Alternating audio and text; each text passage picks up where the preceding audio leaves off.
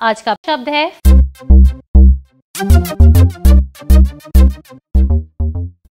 firm F I R M firm mean something which is hard solid strongly filled which is permanent and unlikely to change we should be firm in our decisions firm का मतलब है अटल या ठोस, यानी जो मज़बूत हो या जिसे आसानी से हिला नहीं सकते।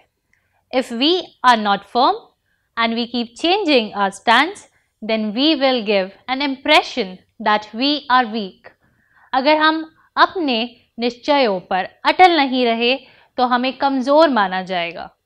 We need to keep our feet firm on the ground हमें अपने पैर ज़मीन पर ठोस तरीके से रखना चाहिए।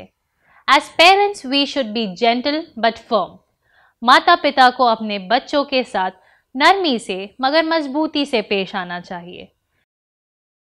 He has a firm believe in God उसे अपने भगवान पे पक्का यकीन था।